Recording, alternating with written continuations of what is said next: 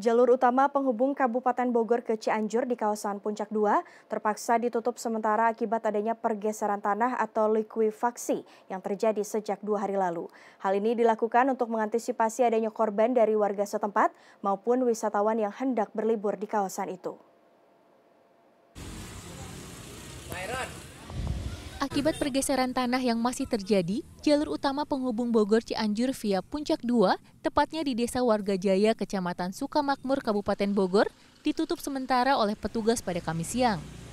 Penutupan jalur yang juga merupakan akses alternatif wisatawan menuju kawasan Puncak 1 ini terpaksa dilakukan untuk mengantisipasi kerawanan bencana dan munculnya korban.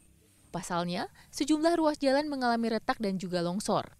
Selain menunggu fenomena pergerakan tanah atau likuifaksi ini berhenti total, pembukaan jalur utama ini akan dilakukan usai pihak Dinas PUPR melakukan perbaikan dan memastikan jalur ini aman untuk dilalui oleh warga maupun wisatawan.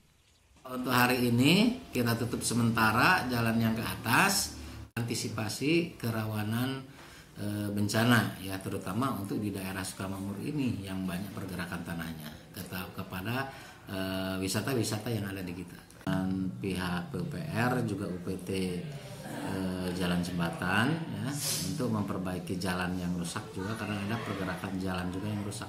Pergerakan tanah di wilayah Kecamatan Sukamakmur memang di beberapa wilayah ini tinggi. Ya, ya ini masih masih terlihat agak sedikit eh, karena retensi hujan tinggi sehingga pergerakan tanah ini sudah mulai terlihat juga di wilayah Cibitung ya warga Jaya dan juga Eh, Venus ya.